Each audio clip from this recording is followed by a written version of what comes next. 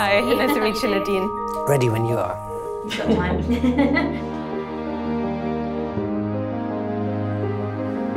Good.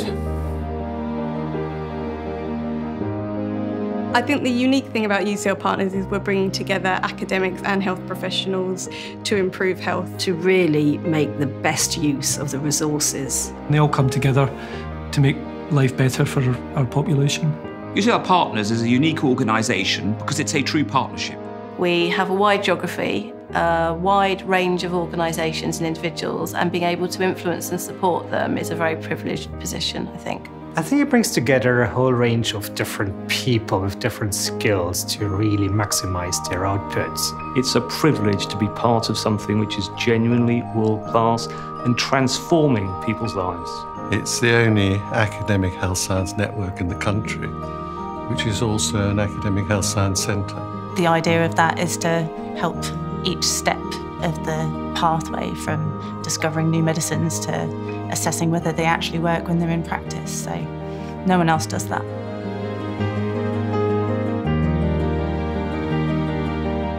What I most value about working with UCL partners is, is seeing research come together across London um, for patient benefit. To enable really high quality research. Here we're trying to bridge the barrier between um, research and practice. It's really great to know that um, my opinions, even as an intern, are going to be taken into consideration. Knowing that a team is there that I can access, talk to um, whenever I need advice.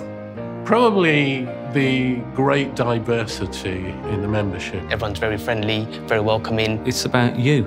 It's about its people. Just a really vibrant, passionate bunch of people. Who are enthusiastic and who are here for the right reasons, you know, who are driven by the same values. We're a group of people who are looking for solutions in health and social care. I really want to make a difference. And you get an opportunity to do that at UCL Partners by working with really inspiring people. And we're always determined to ensure we're doing the best for those for whom we have the responsibility of caring. But that's not an accident because that's how it was set up uh, seven years ago with a very, very clear set of values that we needed to help other people do good things. What inspires me? Oh, gosh. Wow. That is. Um... That's a difficult one word, yeah. What inspires me personally is creativity.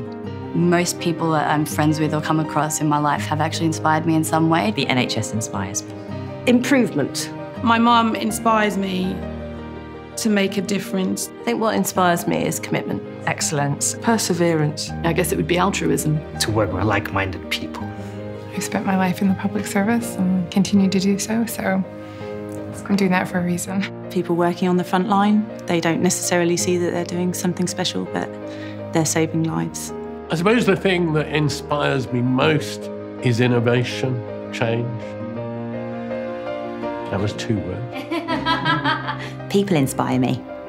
If you want one word, yeah. I think we're all inspired by a simple belief that the patient is our North Star. It's working with people for the benefit of people. That's, that's a wrap. Yeah. That's good.